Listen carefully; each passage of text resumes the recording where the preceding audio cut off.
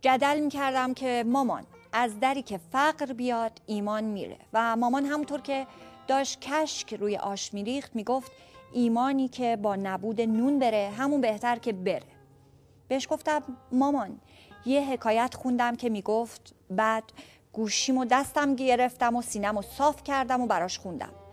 آوردند که مردی از دیوانه پرسید اسم اعظم خدا را میدانی؟ دیوانه گفت نام اعظم خدا نان است اما این را جایی نمی‌توان گفت. مرد گفت نادان شرم کن چگونه اسم اعظم خدا نان است؟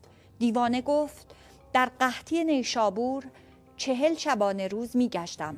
نه هیچ جایی صدای اذانی شنیدم و نه در هیچ مسجدی را باز دیدم. از آنجا بود که فهمیدم. اسم اعظم خدا رو که کسی نفهمیده. اما مادر روزهایی بوده که اردبیل بودیم و همین نون رو هم بابات نداشت. اما نه کفر گفت نه خلوتمون رو با خدا قطع کردیم. قر زدیم که خدایا ما چرا از عرش افتادیم به فرش؟ اما باز تهش امید داشتیم که همش درست میشه. می‌بینی که درست شد و از صفر دوباره رسیدیم به صد. اقبالمون بلند بود اما ایمانمون قرص و بلندتر بود. امیدت به خدا باشه کم میاری اما صفر نمیشی. صفر برای کسیه که دیگه چیزی نداره بهش وصل شه. آدم بی خدا روزای سخت خیلی تنهاست.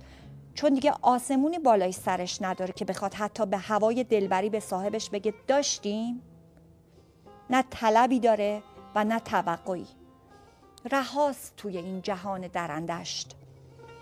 دستی به تابلوی معرق روی دیوار آشپزخونه کشید و در ادامش گفت من و بابات رهایی انتخابمون نبوده.